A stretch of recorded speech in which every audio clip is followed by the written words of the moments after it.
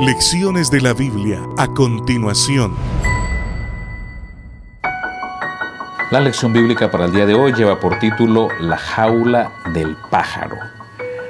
Primera carta de Pedro, justo en el capítulo 1 y el versículo 6 dice, En lo cual vosotros os alegráis, aunque ahora por un poco de tiempo, si es necesario, tengáis que ser afligidos en diversas pruebas.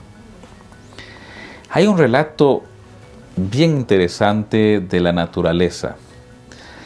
Se cuenta que cuando se quiere enseñarle un canto a un ave, aquellas aves que silban o que tratan de hablar como los loritos, se dice que si se pone a la luz del día, él no va a aprender un canto en específico porque va a imitar el sonido del perro, el sonido del gato, el sonido de los otros pájaros que están allí o a lo mejor las palabras de quienes puedan estar alrededor.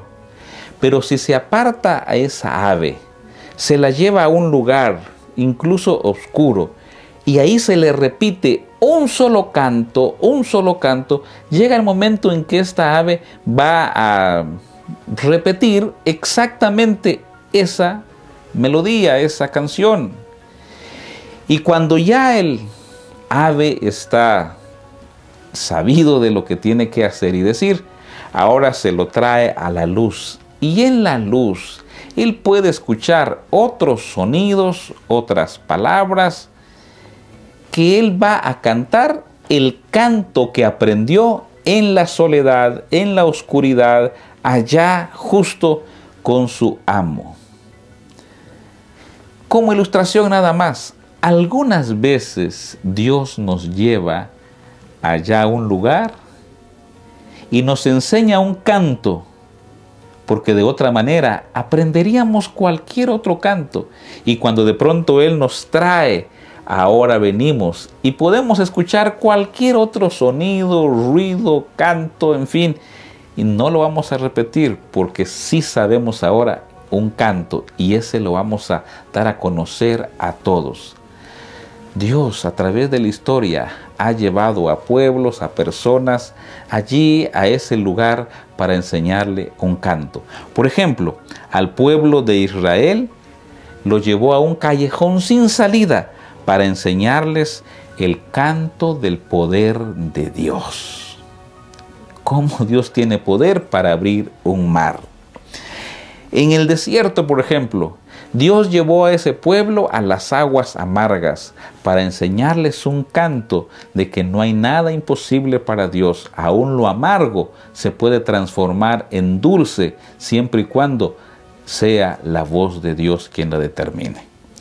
Por ejemplo, al mismo Jesús, el Padre permitió que acompañara al Espíritu Santo a Jesús y cuando estaba allá llegó Satanás. Las tres tentaciones, pero Jesús salió victorioso y cuando Jesús sale victorioso, ahora traía esa nueva canción en su experiencia y él pudo decir entonces que hay victoria sobre Satanás. A nosotros también los cristianos, el texto que leímos hoy dice que si es necesario pasaremos por aflicciones, por pruebas, para que nosotros aprendamos el canto de firmeza en Cristo Jesús, que aprendamos a estar firmes con Cristo Jesús. Así que cuando salimos de las pruebas y nos llevan ahora a cualquier lugar, podemos escuchar y ver algunas otras cosas, pero nosotros vamos a decir, hay poder en Cristo Jesús ¿Qué canciones el Señor te ha enseñado allá en la prueba, en la aflicción, en el dolor, en la tristeza, en momentos muy difíciles? Pues esos cantos ahora hay que venir y van a servir para que otros también puedan consolarse y puedan decir, hay cantos que necesito aprender, pero luego salimos de esa oscuridad y salimos para testificar y decir a otros, hay un canto que podemos compartir. Que Dios te bendiga y que Dios fortalezca tu fe y también pueda ayudarte en todas las pruebas. Bendiciones. Soy el pastor Hebreo Olvero. Recuerda, hoy es el día de tu salvación.